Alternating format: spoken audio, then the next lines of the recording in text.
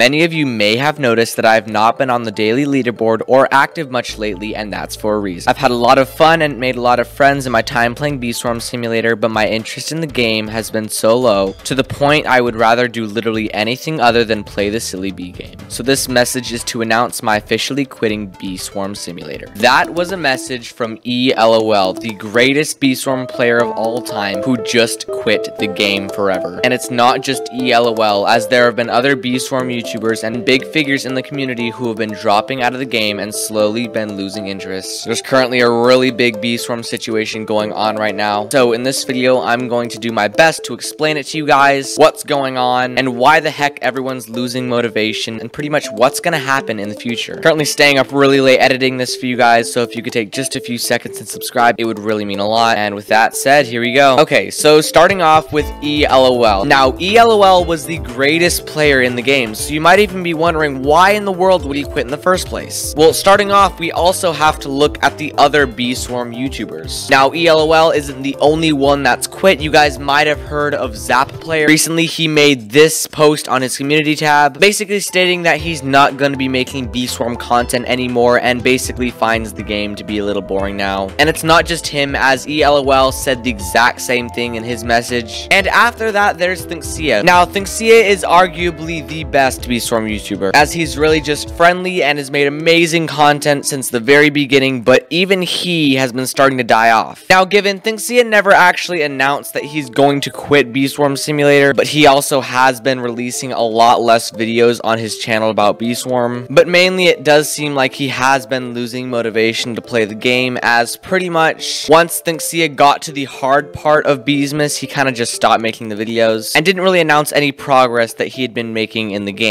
Now, why is everyone doing this? Well, for starters, I think you should know about the problem with this Beesmas. Now, here's the problem, because it's actually kind of hard to pinpoint. The game just added so much. It added the Robo Challenge, it added new planters, it added Dapper Bear quests, it added a brand new Cub Buddy, and all of Beesmas, yet everyone found it to be boring and honestly kind of torture, and here's why. It's specifically the fact that no one has anything to work towards anymore. Now, Zap Player specifically stated that he just kind of finds the game boring and there's not much else to do, and specifically ELOL and Zap Player have pretty much beat Bee Swarm Simulator, so now they have nothing to do. Now, Onett has been recently stating that he wanted to release the endgame sprinklers, backpack guards, all of those things, this Beesmas, which would basically give all of the endgame players something to work towards, because most people that really tried have the Planter of Plenty already, so there's not much else to do. So the thought that there could be a new backpack or something, or really hard to get Beequips to work towards, was the motivation to keep playing. But when this Beesmas added the Robo Challenge, there was no super hard challenge. There was nothing else crazy to grind for. And that was the main problem, because while the Robo update was really big, it's not like it gave you some pretty crazy buffs. Sure, it gives you an amulet, but that's about it. There's no super big item to grind towards, it's kind of just an amulet and a bunch of torture, and the fact that the Beesmas quests required so much of it, it basically just left a bad taste in everyone's mouth, and definitely made everyone see the Robo Challenge in a bad light. And the main problem with all this specifically is that the Robo Challenge is just one big grind. It's just the most repetitive thing over and over again, and when you have people like ELOL and Zap Player who have already spent so much time on this game, now forced to spend even more time on this game just doing grinding, it just doesn't seem like fun to them, and so they're starting to quit. Now, also, there's the obligation, because obviously, if you're just a random everyday player, you can quit and no one's even gonna notice. But for these people, it's a lot bigger, because in the case of Zap, he's actually a somewhat big YouTuber, and so he has a community to basically look after, or basically a community that he's forced to upload for, and as for ELOL, he's literally the number one player in all of BSS on the Honeymakers leaderboard, and has a huge reputation to maintain. Now, the problem with this is also the fact that they just kind of feel obliged to do it all, because at one point the game stops being fun, and it's kind of just a chore or a prison in this case. So also keep in mind that it's not like this goes for any everyday player. This is specifically for these people who have really high ranks in this game and a lot of status, and basically just a really big name to look up to. And with the game going on for so so long, it's just starting to become too much. Now also keep in mind that Bee Swarm has been going on for a very long time. Not every game is going to last forever. Even some of the biggest games like Fortnite die off eventually. And I also predict that the same will happen for Pet Simulator X. I think it's been out for something like two years now, but eventually the game is going to die down. And also one final thing to keep in mind is that Onett himself is also pretty much done with the game, which in other words basically just meant that other YouTubers now have a huge opportunity to quit as now the developer isn't crazy passionate about the game, so why should they be? If you've had a hard time following along, basically the Robo Challenge was just really tough and it didn't serve as anything for players to grind towards, it was just one repetitive,